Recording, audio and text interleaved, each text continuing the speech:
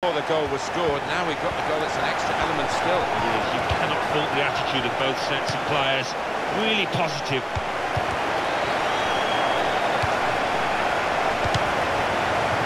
You can tell he knows the game. He had a sixth sense there to get to the right position and nick the ball. The shot's on! Goal!